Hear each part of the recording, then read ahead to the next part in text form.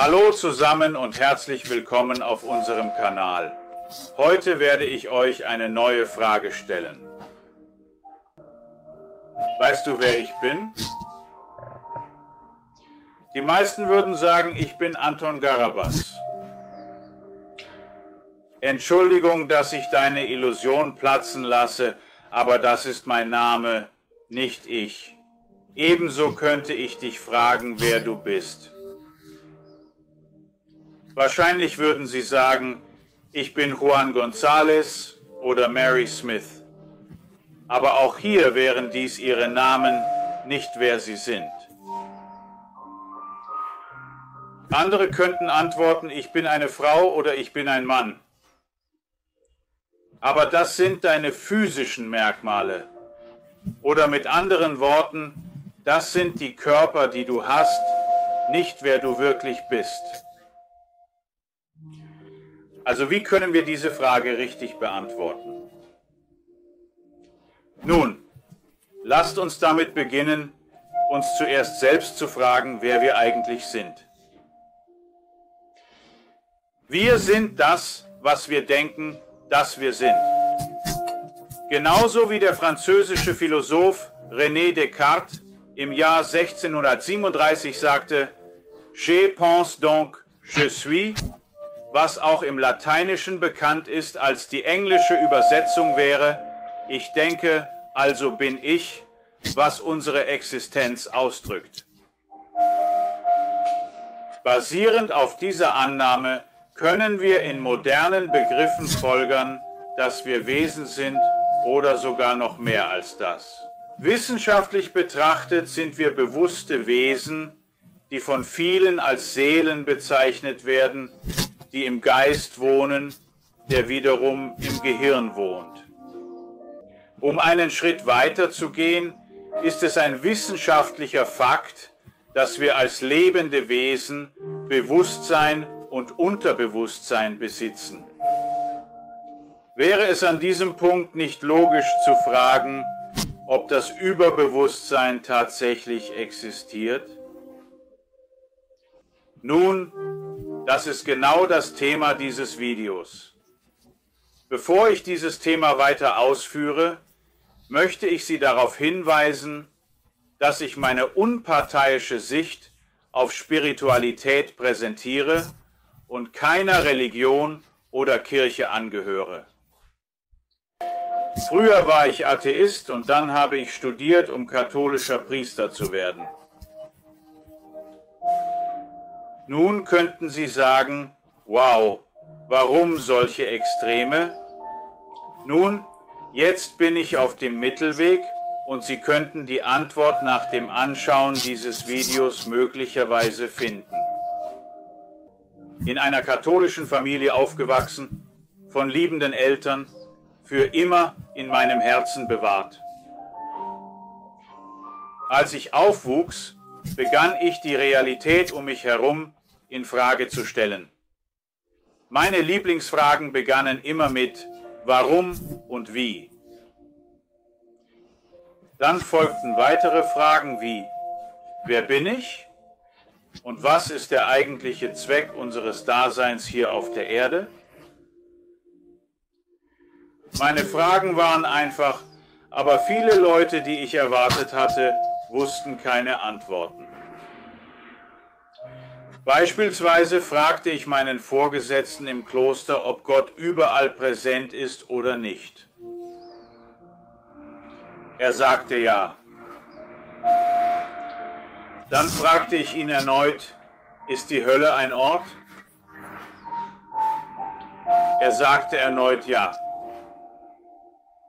Dann fragte ich mich, ob Gott in der Hölle sei und setzte meine Reise fort.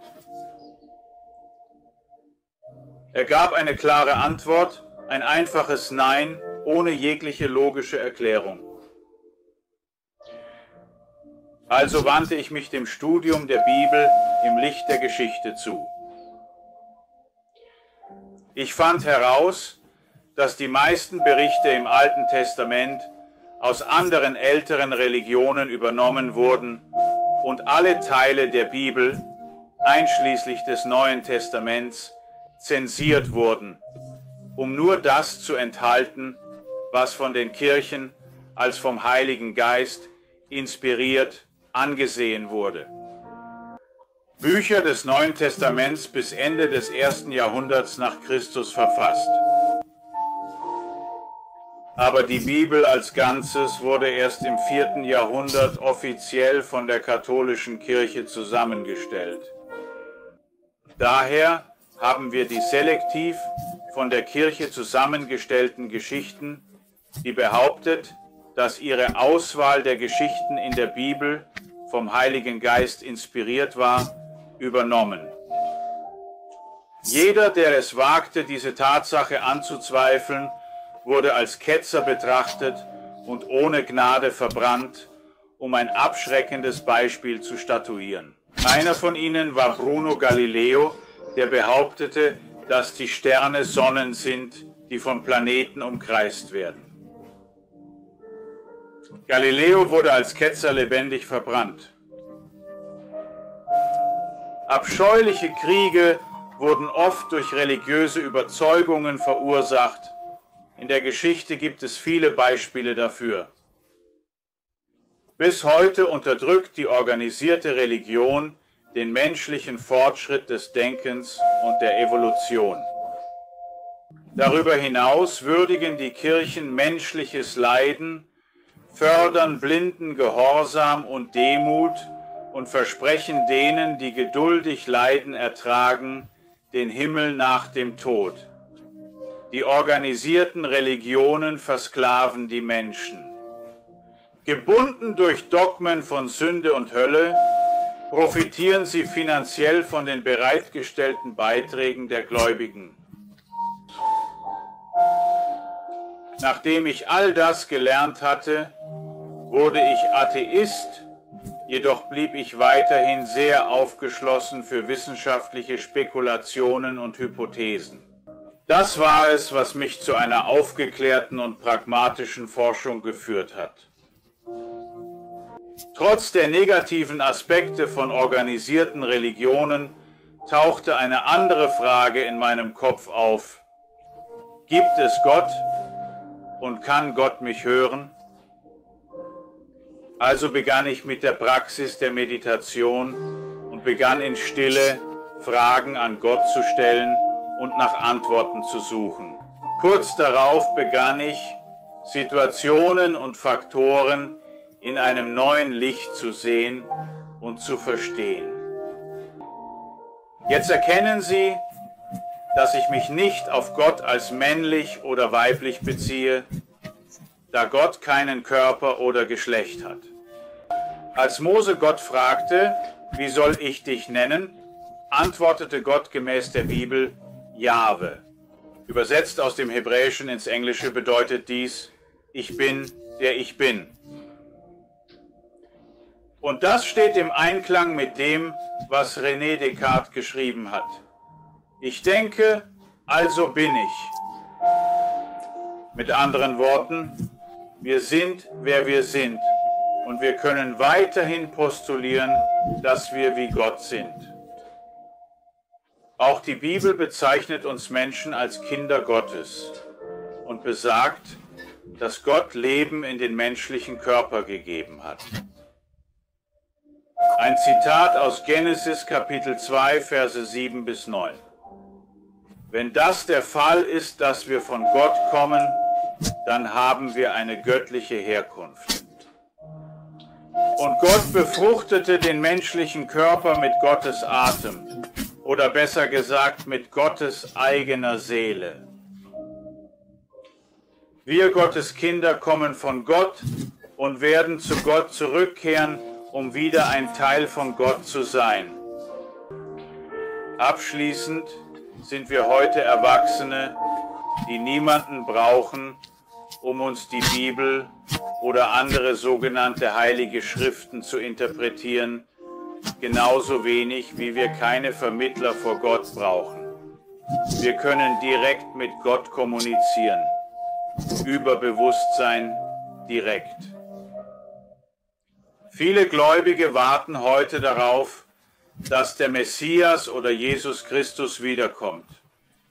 und sie glauben, dass er alle Probleme der Welt lösen wird. Ich sage dies, wenn wir glauben, dass wir die Kinder Gottes sind und wir glauben, dass wir zum Beispiel Jesus Christus folgen sollten, dann sollten wir die Messias sein. Um heute damit zu beginnen, unsere verfallende Welt zu erneuern. Wir sollten uns bereits als die Messiasse hier betrachten. Und es liegt in unseren Händen und unserer Verantwortung, diese verfallende Welt zu erneuern. Aber zuerst müssen wir damit beginnen, uns zu erneuern und unsere Einstellungen zueinander und zur Natur zu ändern. Sonst werden wir immer und immer wieder wiedergeboren, bis wir unsere wichtigen Lektionen gelernt haben.